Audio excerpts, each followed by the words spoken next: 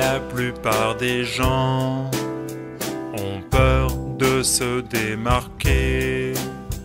Mieux vaut respecter la norme que courir le risque d'être rejeté. Suivre le mouvement, c'est pas dur en vérité. Ils agissent comme un seul homme, achètent les mêmes disques, les mêmes futilités. Rien de créatif quand ils préparent le dîner. Sans un bouquin de recettes, ils seraient perdus, complètement largués.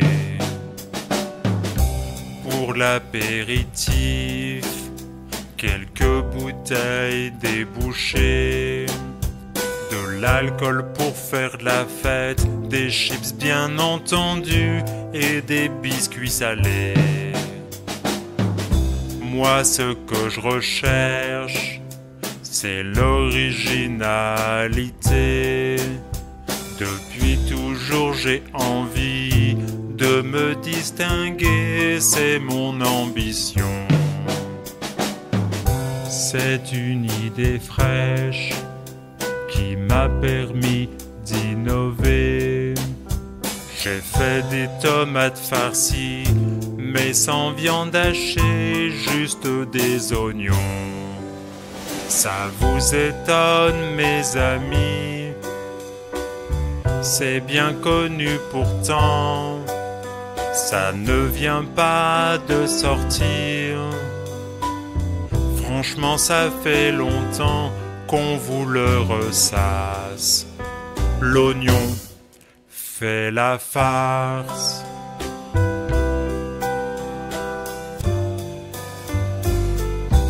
Quand on sort du lot, la société bien pensante vous traite d'original et se moque de vous, elle devient méchante. Ça devient chaud, je réagis, séance tenante. Quand je m'énerve, ça fait mal, je leur donne des coups pris dans la tourmente. Ça vous étonne les poteaux c'est bien connu, voyons, un peu de concentration. Il n'est pas bien nouveau cet adage féroce. L'oignon fait la force.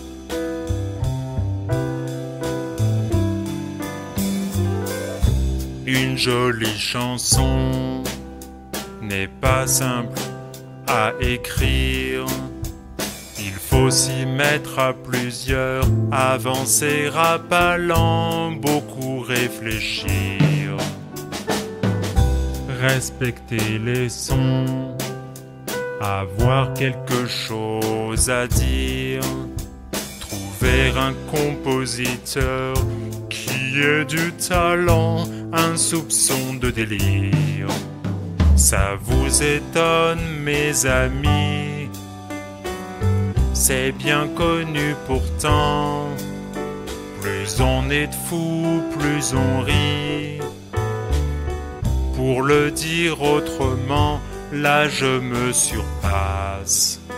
L'union fait la farce.